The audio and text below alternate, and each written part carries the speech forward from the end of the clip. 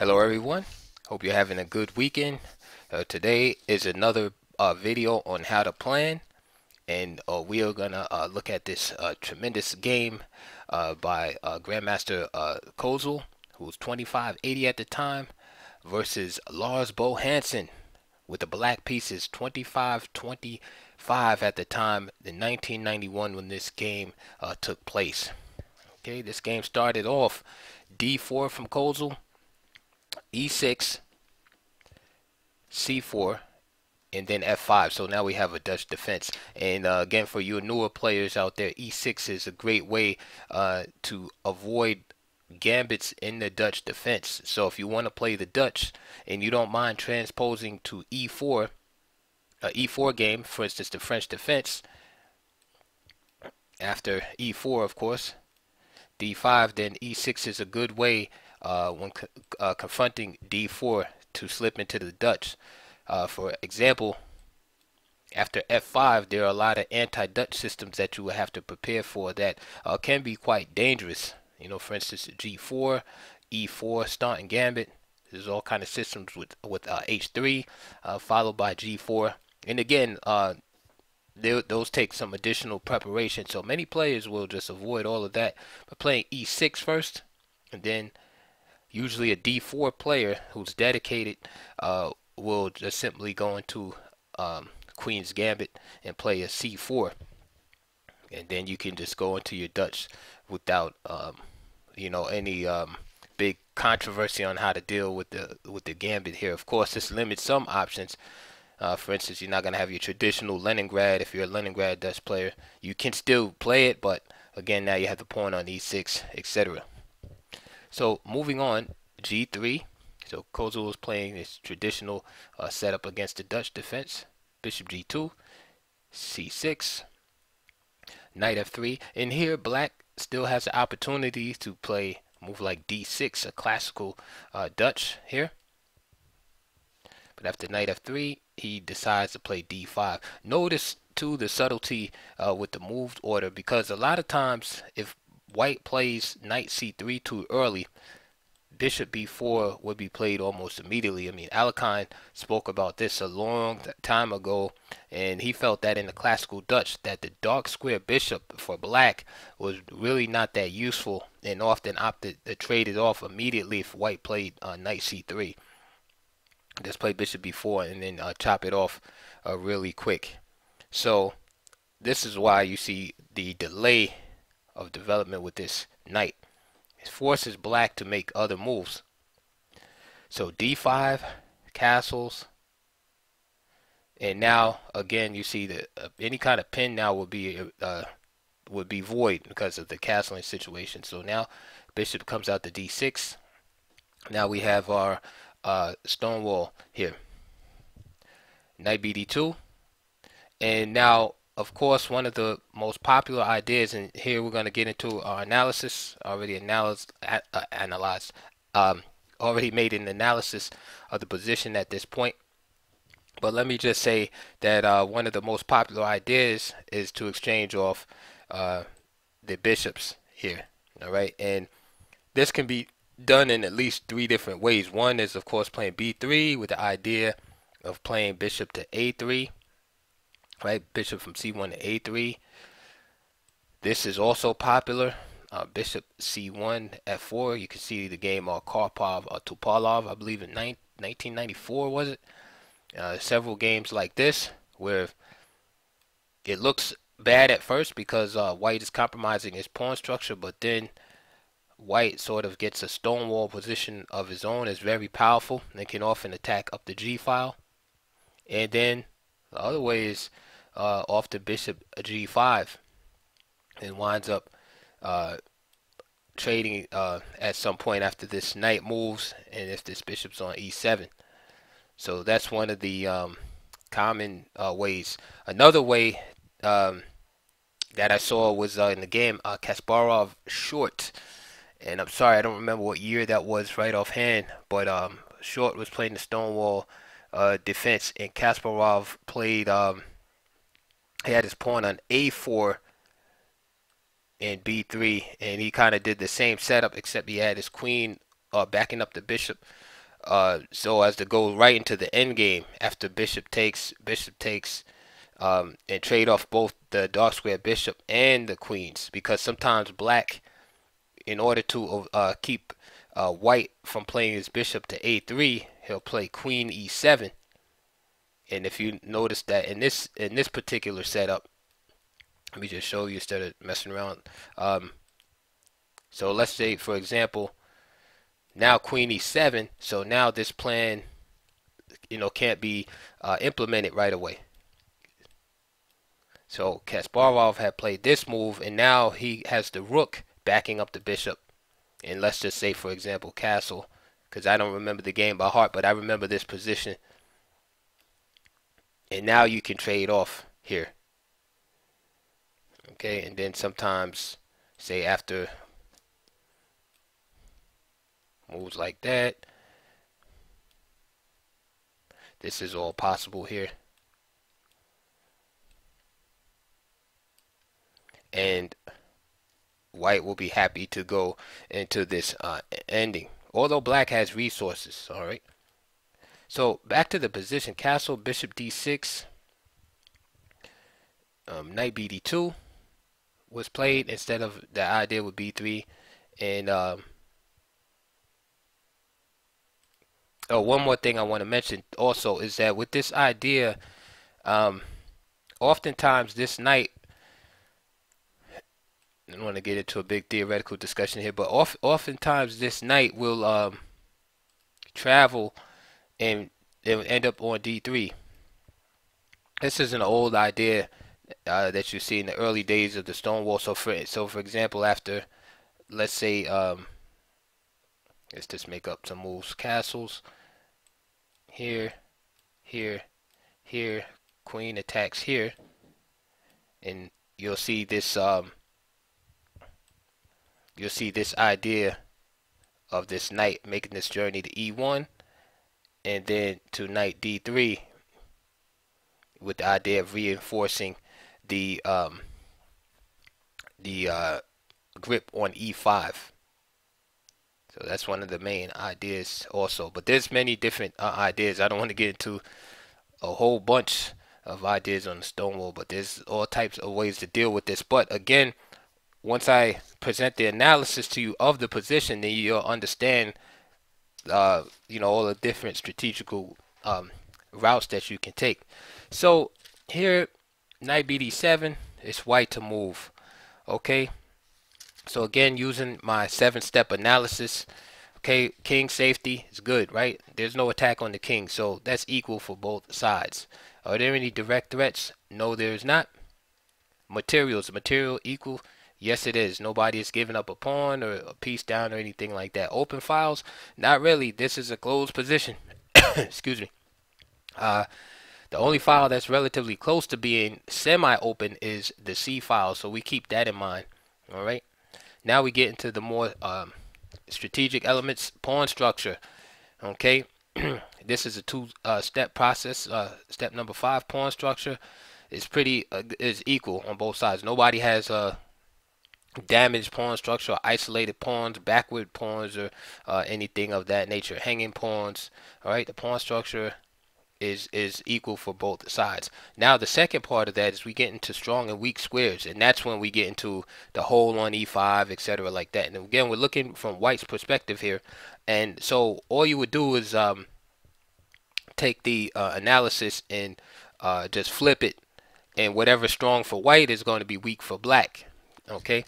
So now we're looking at the strong squares for white in this um, situation. What are the strong squares for white? These are squares that uh, white possesses in the enemy territory that black himself uh, cannot use right? That he would he, he would like to use on his own property but he can't because white is attacking them. So for example strong squares for white are, are uh, e5 because the bishop can cannot occupy that square at this moment. Neither uh, can this knight. And remember, it's white to move here. So if black, if black could move, right, the possibility that he could play this, but it's it's white, white's move.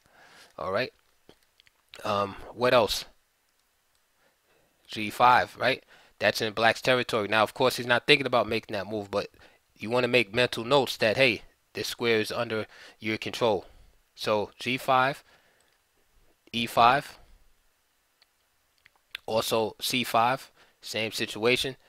Black cannot occupy uh, that square, and then this uh, square B5 is just under, um, it's being contested by both sides. So neither one can use it. But this is actually good for white because again, this is in black's territory. Okay, so black cannot use a square in his own territory. All right, and then just flipping it over, looking at the other side, strong squares for white. Uh, excuse me, strong squares for black. That would be weak for white. E4. Right. This is one of the the main um, uh, ideas in the Stonewall is taking over this square and using it as a jump off for a king side attack. All right. So E4 is very strong.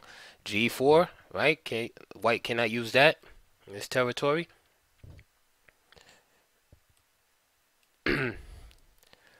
and also uh, B4. So same thing, right?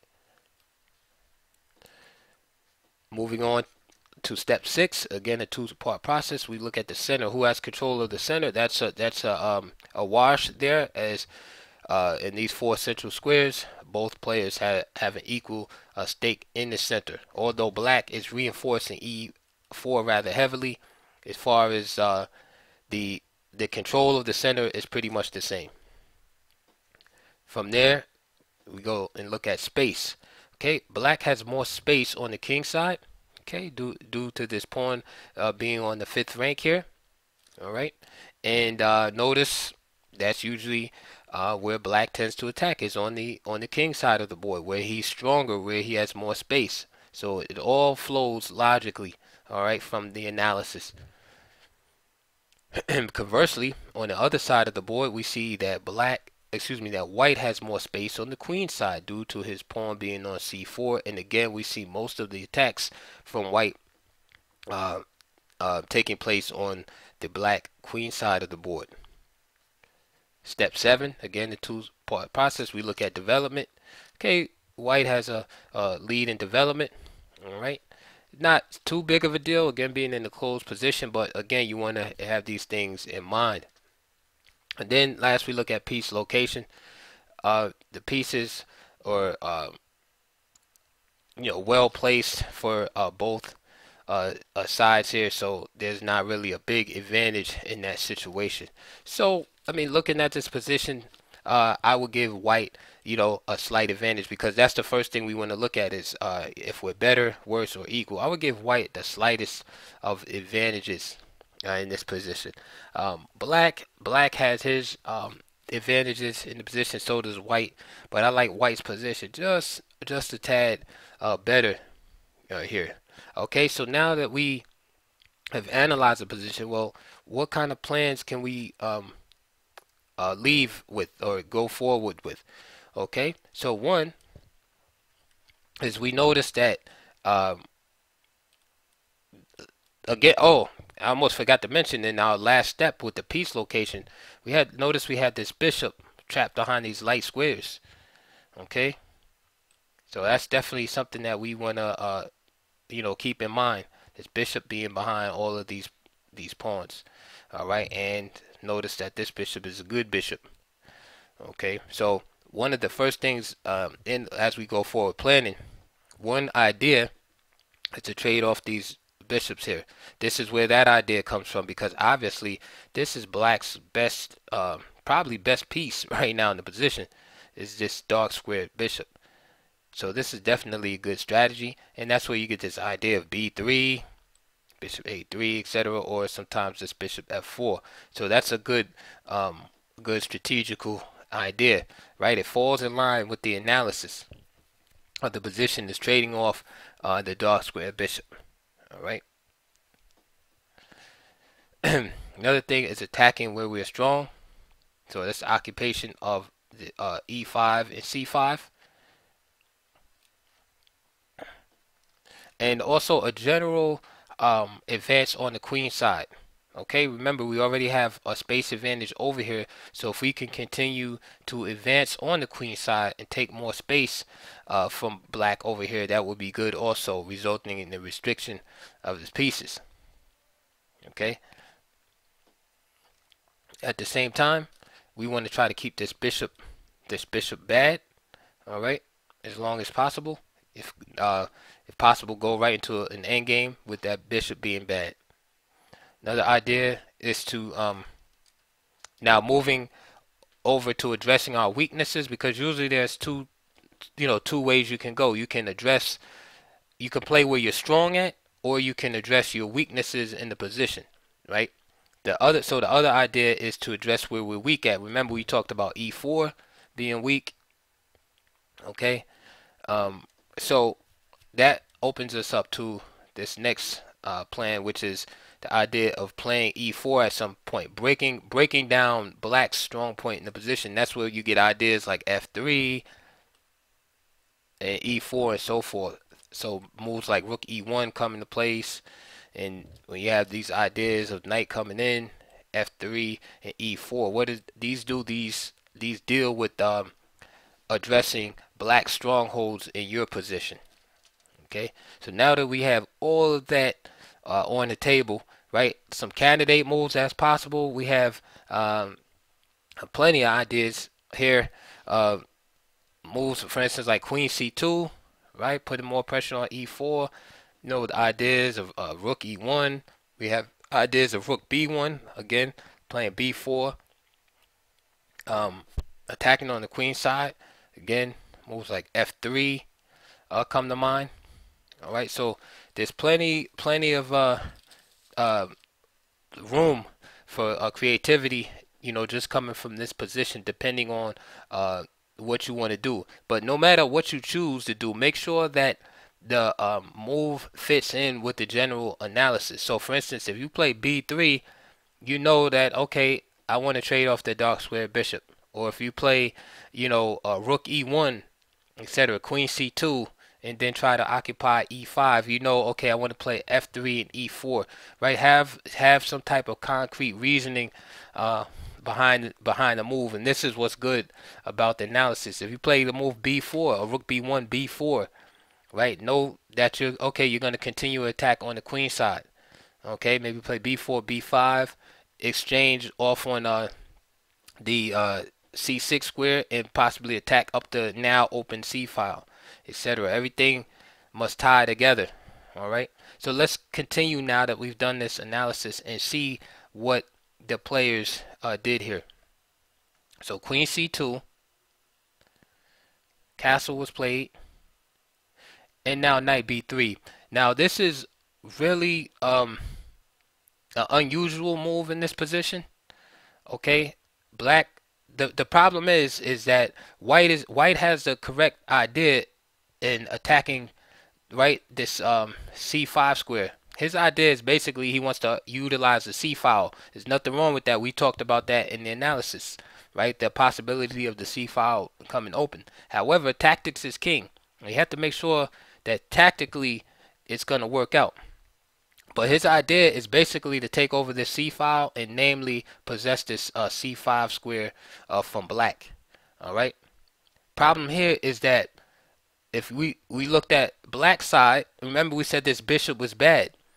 Of course, black doesn't want this bishop to be bad. So what is a move that black would normally do to um, make this bishop better? Well, one of the things he does is this old-time Botvinnik maneuver where he plays bishop d7, bishop e8, and then the bishop comes out here, right? Of course, it's slow, but that's a maneuver that he does. The other maneuver that's easier to do but creates some weakness on the queen side is he plays b6 and then slips this bishop out to a6 or bishop uh, or to b7. a6 puts him on a, a open diagonal. So this idea of occupying c5 might get crossed up by a simple move like b6. And this solves two problems for black. It mitigates the weakness on c5 and frees the bishop. Let's see how the game went. 94, again, falling in with the analysis. Black is just simply playing where he's strong at. 91. Okay. queen e7, knight d3. Remember this idea? So he's he's decided to play against the c5 square. b6, stopping the occupation there. Bishop e3. Bishop a6 with tempo. All right. c5. Bishop b8. Notice that black doesn't uh, capture here. He doesn't want to give up that square. So c takes b6, a takes b6. Notice that white can't really do anything now. So this is what he's based his his um his idea on. The fact that yes, white is like, hey, I can't occupy this square, but look, I have this weak pawn, this weak pawn here to attack.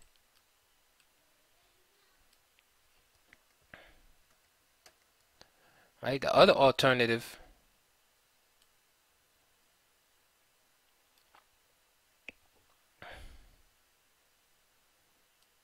course with bishop c7 and then white could have played move like f3 again right? All fits in the analysis.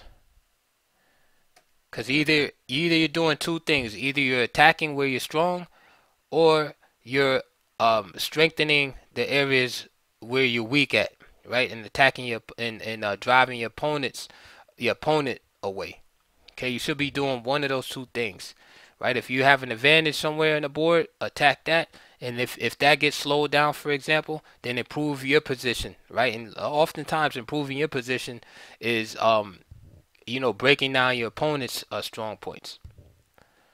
Back to the game, c5, bishop b8, c takes, c, uh, a takes, queen takes c6. So white has won the pawn here, right? That's fantastic. However, Lars Bo Hansen strikes with the bolt of lightning. Bishop takes g3. Remember I said tactics is king. So white had this beautiful plan, right, which which worked out tremendously. You end up winning the pawn on the queen side. He has a 2 to 1 pawn majority. The problem is, after bishop takes g3, he cannot capture the bishop because his queen would be trapped. Okay? h takes g3 is met by rook fc8. So obviously this is a move that he overlooked early on. Okay, so he saw this whole scenario here and with the possibility of either occupying the c5 square. Again it's great great plan. And he said well if i can't get that uh, square i'll have this weak pawn on this open c file Notice how black's move bishop takes g3 coincides with his advantages on the king side, having more space. So it's only fitting that he plays a move like that, right? Bishop takes g3. So queen c2. Again, he cannot capture. Bishop just came back.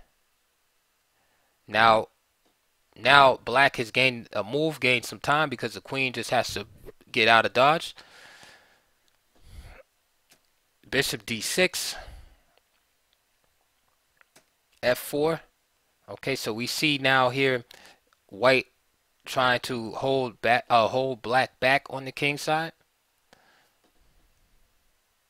Rook ac8.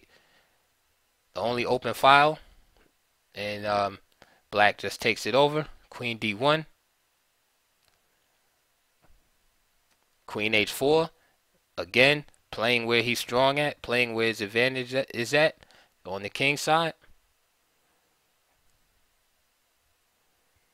Now, the difference here is that White's plan has been totally uh, frustrated, right? This idea that he was going to attack on the queen side, and Black's plan uh, is definitely working out for him. So he has this attack brewing on the queen side, on the king side rather, the things that we said were bad about black, right, have been improved. The bishop is on a nice open diagonal, probably the best diagonal on the board, an a6. His rook is occupying the open file. His knight is on e4. And his queen is on h4. Alright?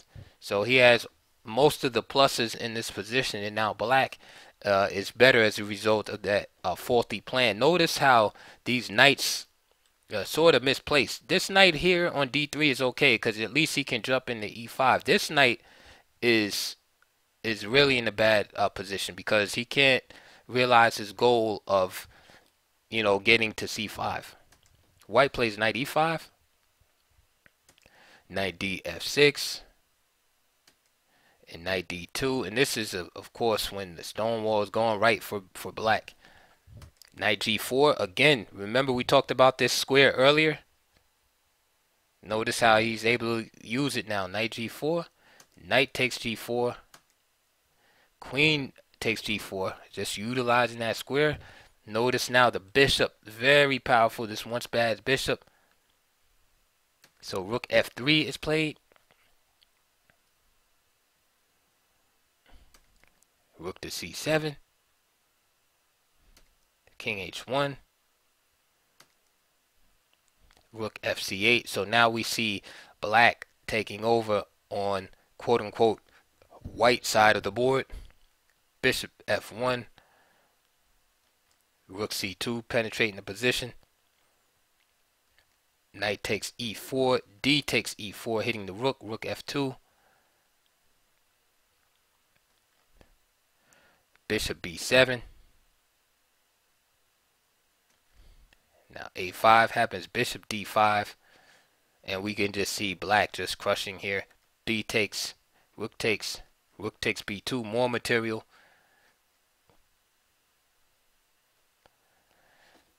Queen a4, bishop f8, and the rest is just uh, pretty much like a, a cleanup job here. White desperately trying to create some counterplay but to no avail. I'll just run through the rest of the moves real quick. Rook b3, of course, rook b, a rook b1 is is good. Who knows? These players might have been in time trouble.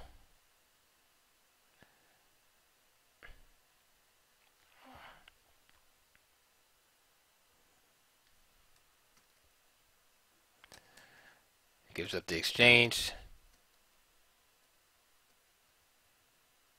And black just went on to uh, win this game. Like I said, I'll just speed through the remainder of these moves since it's outside the scope of this video. And of course, uh, being up material, you know, especially at Grandmaster level, like that is like no brainer. So you can see black ended up with this extra pawn on the outside. And um, uh, Kozul had to resign as the H pawn is going to uh, save the day. Uh, so I hope you learned uh, from that. Um, and again, another, uh, you know, another example of planning. And I guess what I'm trying to get across to you is that uh, an analyzing chess is very important, especially in positions where, again, there's no direct tactical uh, solution in the position. Okay, um, that I find that is a problem with many chess players is that they don't know how to analyze a position when there's like nothing. You know, I always call it quote unquote when there's nothing to do in a position, right? When there's nothing direct. Like, how do you decide on you know the plans? And what a lot of players do is they'll they're trying to look for tactics at every at every move and usually that's a problem for players that um, they waste a lot of time. They get in a, a time trouble a lot because they're looking for a tactic on every single move. They're digging and digging for tactics, and that takes a lot of time, right? They're usually very good tact tactical players. If there's a tactic there, they find it, but they're looking for that on every move. So they, you know, take 10, 12 minutes, you know, per move, and then they end up in time trouble, and maybe they have an advantage at some point, but then they lose it in time trouble. Um, now, if you if you uh, become good at uh, analyzing and analyzing a position, then you'll be able to make three or four moves quickly because everything goes with the plan. Like you made your plan, and nothing's really changing from move to move uh, that much, unless of course the opponent makes an egregious error. So you're able to be like, okay, for instance, you know, in the Stonewall, like, okay, I'm gonna play, uh, I'm gonna play B3, Bishop A3, um, you know, Bishop takes knight, knight takes, and I bring my knight to E1, D3, and we're gonna play against E5 square, right? Or I'm gonna play Queen C2, Rook E1, Knight E5, F3, E4, right? You ha you have this, uh, you know, at least three, four moves ready to go because you already have a general plan. Or you're saying, okay, I'm gonna play Rook B1, then I'm gonna play B4, B5, B takes C6, and I'm gonna attack on the this weak pawn on the uh, you know that results on the C file, etc. Right? You have you know plans allow you to be able to you know play three four moves quickly without going into you know this deep thought. But it's important to to analyze, and that way you can always double check because if you're playing a move that doesn't fit in with the analysis, then it's probably wrong, right? So, for instance, if you play, you know, just say, okay, I'm playing a move like h4 here or something like that, you know, it's probably wrong. There's no reason uh, to do a move like that, right? Now, conversely, we talked about this square earlier, which white wound up using. Now, this move h3, a move like h3, actually fits in with with uh, mitigating uh, this weakness here. Now, is it the best move in the position? No, because there's more important things for you to do in the position. Right? For instance, you gotta, you know, deal with this this pawn that's hanging here. But say, for instance, everything else was uh, taken care of. So let's just say B3. Right? Let's have let's have a little fun here, and then I'll, I'll end this video because I don't want to go too long on a tangent here. But let's say you had B3 here, castle again, there's more important things you can do here because you got pieces that's not that haven't been developed. Stuff you can play again, bishop h3. But again, move like h3 here isn't isn't a isn't a horrible move, right? You're addressing a minor point in the position, okay, but at least you're addressing one of the the weaknesses in the position, okay.